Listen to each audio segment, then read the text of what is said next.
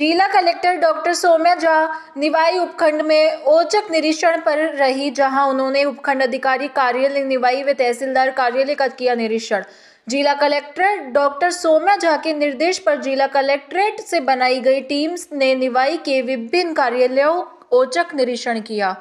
मौके पर ही attendance register जब्त किए जिला कलेक्टर ने निवाई उपखंड में उपखंड स्तरीय मासिक जनसुनवाई के तहत निवाई में लोगों की समस्याएँ सुना व जल्द समाधान का आश्वासन दिया। संबंधित अधिकारियों को दिए समाधान के निर्देश जिला कलेक्टर डॉक्टर सौम्या झा ने किया। सामुदायिक स्वास्थ्य केंद्र निवाई का निरीक्षण। गहन चिकित्सा इकाई प्रस्तुत प्रसूति कश प्रसूति वार्ड, महिला शौचालय, एनबीएसयू वार्ड, पार्किंग एरिया की व्यवस्थाओं का लिया जायजा। शौचालय में साफ़ सफ़ाई के लिए दिए निर्देश। साथ ही रोगियों से बात कर चिकित्सा व्यवस्थाओं का लिया फीडबैक। मुख्य ब्लॉक चिकित्सा अधिकारी शैलेंद्र चौधरी एवं चिकित्सा प्रभारी के विजय रहे मौजूद।